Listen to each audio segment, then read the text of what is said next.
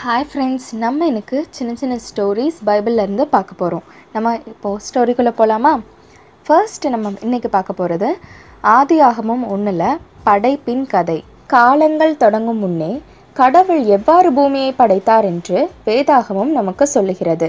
இந்த பூமியானது வெறுமையும் இருளுமாக இருந்தது. உயிர்களோ வெளிச்சமோ இருக்கவில்லை. ஆறு நாட்களில் தேவன் இந்த உலகத்தையும் பூமியின் மேலுள்ள எல்லா உயிரினங்களையும் படைத்தார்.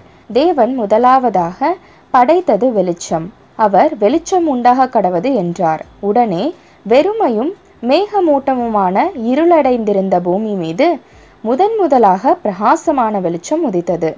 தேவன் வெளிச்சம் நல்லது என கண்டார். அவர் வெளிச்சத்திற்கு பகல் என்றும் இருளுக்கு இரவு என்றும் பெயரிட்டார்.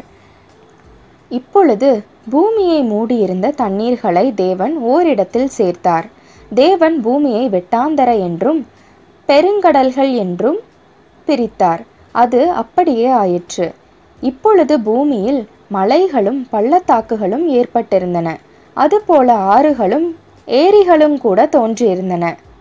அதன் பின்பு தேவன் பசுமை புல்பூண்டுகள் முளைத்து பூமி எங்கும் நிரப்பக்கடவது என்றார்.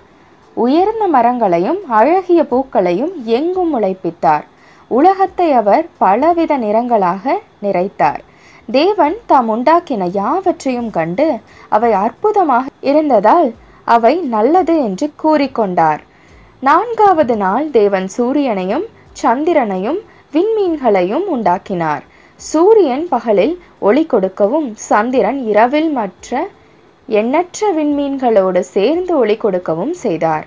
ஆனால் பூமியானது மிகவும் அமைதியாக இருந்தது. ஏனெனில் உயிருள்ள எதுவும் இன்னும் படைக்கப்படவில்லை.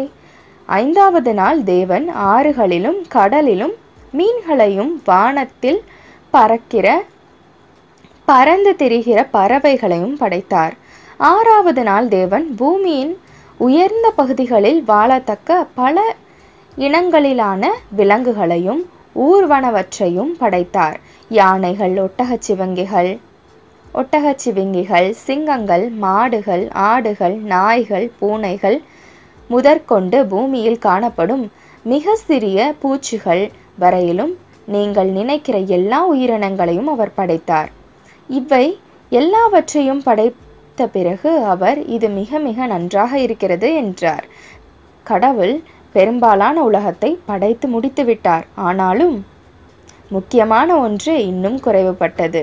தம் படைப்புகள் யாவற்றிலும் அதி சிறப்பான படைப்பு தாம் இன்னும் உருவாக்கவில்லை என்பதை தேவன் அறிந்தார்.